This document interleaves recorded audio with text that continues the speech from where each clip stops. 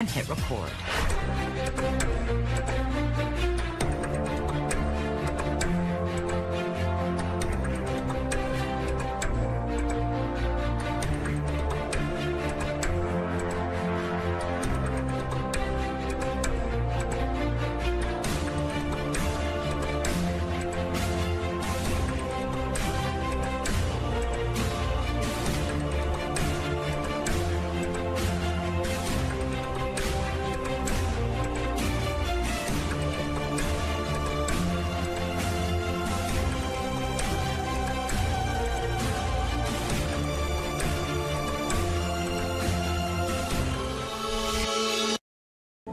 The following program is available in described video.